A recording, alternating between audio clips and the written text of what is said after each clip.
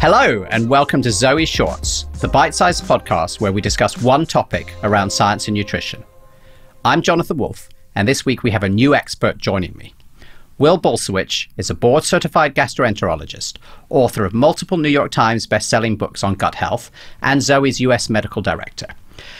And before this podcast, I actually looked up gastroenterologist uh, to understand what it really meant. And the dictionary defines this as a medical practitioner qualified to diagnose and treat disorders of the stomach and intestines. And since today's subject is gas and bloating, it seems like, Will, you are the perfect person for the job. It's great to be here today. I'm super excited to talk about this topic. It's an important topic. Issues related to gas and bloating are incredibly common. One in six of us will experience bloating, but the symptoms that lead to bloating are far more complex than we often give them credit for. Thanks, Will. And I have children, so I know that this is often a subject of much entertainment for my kids, but it's also a very serious topic. Uh, and so this week we're going to try and find out what it is that's causing gas and bloating. I think there's some pretty great research that explains why we experience bloating, and we may even have some ideas about how to combat it. Sounds good to me. So, when it comes to gas and bloating, we did some research, and it's actually one of the most common problems that people report. So, about one in five people in the United States report experiencing bloating.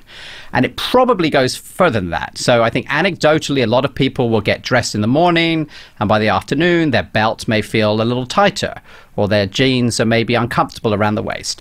And that feeling of being bloated is, is incredibly common, even if we're not going to see a doctor about it. It is. Bloating is the feeling of an increased abdominal pressure, usually related to gas. And while for some people this bloating is actually visible, like they almost can look like they're pregnant, others will feel the discomfort of bloating while displaying minimal or no distension of their stomach. And well, I think a lot of people attribute bloating to days when they've had like a big lunch, or perhaps this idea that their body is just producing excess amounts of gas because of something they ate. Is is that what's going on? What's happening with your body is a bit more complicated. That's the thing that people need to understand. If we if we want to get better at managing the bloating issue, we have to actually understand the nuance. That's what's going to allow us to get there. So you're saying there's quite a lot of different things that might be going on that ex- that explain why I might be suffering from it. Exactly. In fact, I would say there's four main causes of bloating that are worth discussing. The first is swallowed air, second constipation, Third is a struggling microbiome, gut microbiome specifically. And then the last is our food choices. Well, why don't we start at the beginning uh, with the swallowed air? So I can think of many ways that air can get into the body, but I, th- I think we should probably start with the most obvious way, which is through the mouth. Yeah, I, I think the most obvious way for air to get into your body is is air that's being swallowed. So any air that enters your body through your mouth is ultimately going to have to be expelled one way or the other. So you can belch it out up top or it has to wiggle its way through your intestines to come out the other side as you pass gas from below. So that makes sense. And the air we breathe in, you know, has to go somewhere. Uh, we did some research on this, and there's actually a condition called aerophagia, which occurs when a person swallows too much air. Uh, it's actually quite common and can be displayed through things like frequent gulping. Many people won't even realize that they're doing this air swallowing, and it's the cause of their discomfort if they suffer from regular bloating. Absolutely. These, these people suffer with intractable belching as well. Uh, they're the person who they can like literally belch their way through the ABCs. If you've ever seen like a teenage kid do that, the air that that comes out when you belch is actually air that entered at some point when you swallowed. So that is not air being produced by your gut microbes or something like that. This is the reason why it doesn't smell nearly as bad.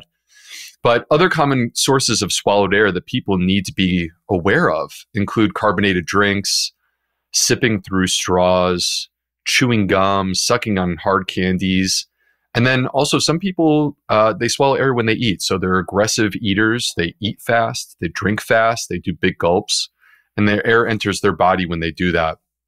So, you know, the bottom line is that if the air gets in, it has to come out one way or the other, and it may work its way through the 20 to 25 feet, the six to eight meters of intestines before it comes out your bottom on the other end. That's that can be extremely uncomfortable. So, if we're discussing entrances and exits, you know, I think naturally we should talk about the other end and talk about the bowels. How do they relate to gas and bloating? Yeah, we definitely need to talk about this. So the, the bowels are actually extremely important to uh, this type of manifestation of gas and bloating, and specifically in people that have slow bowel movements. which otherwise is known as constipation. Yeah, this this can lead to intestinal gas retention, symptoms of bloating, abdominal discomfort. In my experience as a gastroenterologist, the number one cause of gas and bloating that I've seen is actually constipation. And in people who are constipated, the most common symptom that they experience is gas and bloating. So it's sort of this connection that exists. Um, so these between, two are very sort of tied together, Will. Yeah, they're very they're very much intertwined. And you know, we, we actually have research, Jonathan, showing that people who are constipated, they produce more bowel gas. So I think it's worth noting that people with irritable bowel syndrome and chronic constipation, they may experience difficulties w- with regard to gas and bloating. And, and these challenges that exist, it, it can come from many different sources, which could include difficulty relaxing their bottom, difficulty having a good, complete evacuation or bowel movement.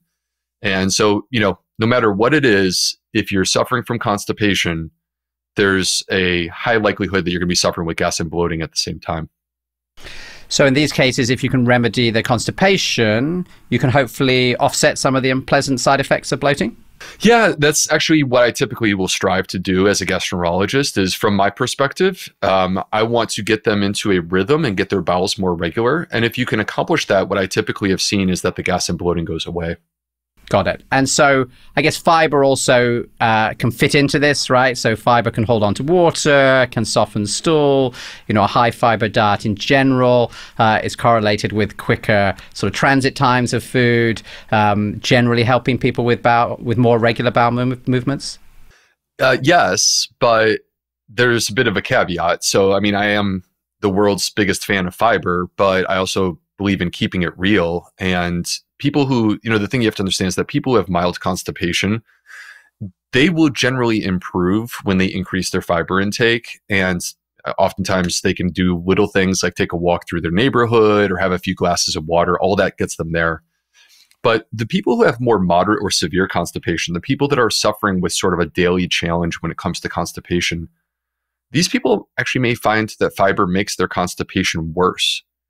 So my approach to this situation, it's not to say that fiber is bad. It's more so to say that I like to focus on getting their bowels moving first, and then I will ramp up the fiber second. So move the bowels first, and then the fiber helps to maintain the bowel rhythm once you've done that. Got it. So speaking of fiber, you know, and gut health, what about the role of our gut microbiome? So we've got these trillions of bacteria munching away on our food. Presumably that's going to generate a lot of gas? Yeah, so our gut microbiome plays an important role in processing and digesting our food. And this is particularly true with the high fiber foods. So, when the gut microbiome is impaired or injured, it may struggle to process and digest particularly high fiber foods. And when this happens, this is when you can experience side effects like gas and bloating. So, Will, we've discussed a lot about our bodies, but what about the things we eat? How do external factors like the food we choose lead to gas and bloating?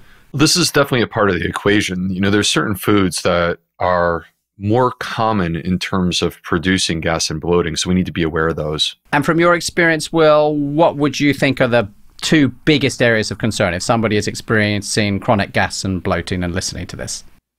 I have advice that I routinely would give to people who come in with gas and bloating, like literally on the first visit. And that would be to eliminate non fermented dairy and artificial sweeteners. Fascinating, because we just did an episode about artificial sweeteners and we're probably going to do some more in the future. So, can we start with, with those? Yeah, people have traditionally thought of artificial sweeteners as being benign. I mean, I have certainly been guilty of this myself. 10 years ago, I was dropping a couple packets of, of Splenda into every single coffee. Um, and I that's, think a, that's a lot of sweetener. yeah, yeah. And I, have moved on. I drink my coffee black now. I've gotten used to it. But the thing is, they're not absorbed by the intestinal system. They don't contain calories. And, and for these reasons, people think of them as just being completely benign. But actually, it's a lot more complicated than that. They still come into contact with our gut microbes. And because they're coming into contact with our gut microbes, they can be fermented or they can have different effects on our digestive system that ultimately cause gas and bloating. And also, people should be aware they can cause diarrhea. So that makes sense on sweeteners. What about dairy? Why would um, why would you look to eliminate that?